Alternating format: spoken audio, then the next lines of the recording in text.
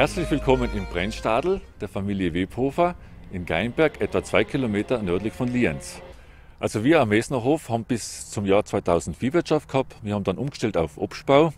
Wir haben jetzt drei Hektar hauptsächlich Äpfel und Birne mit ca. 12.000 Bäume.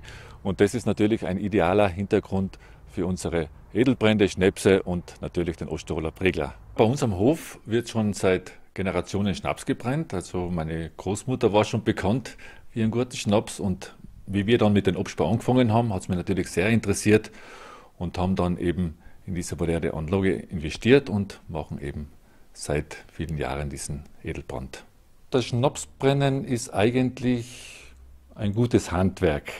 Also man muss schon sehr genau arbeiten, sehr sauber arbeiten und dann äh, funktioniert das auch.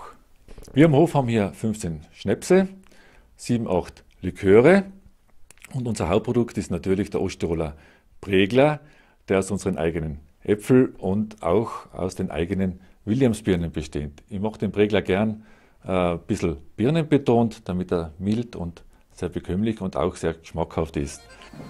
Ja, der Friedler hat den jetzt unseren Hof vorgestellt, in Obstgarten, die Brennerei, in kleinen Hofladen und jetzt sitzen wir in unserem Brennstadel. Und wir würden uns freuen, wenn ihr einfach bei uns vorbeischaut.